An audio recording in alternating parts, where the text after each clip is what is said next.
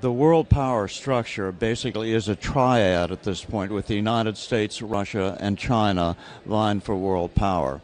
Uh, theoretically, the United States supports freedom and therefore it supports deconsolidation of power to the maximum degree. However, China and Russia are all about consolidation of power, which is the essence of dictatorship or autocracy.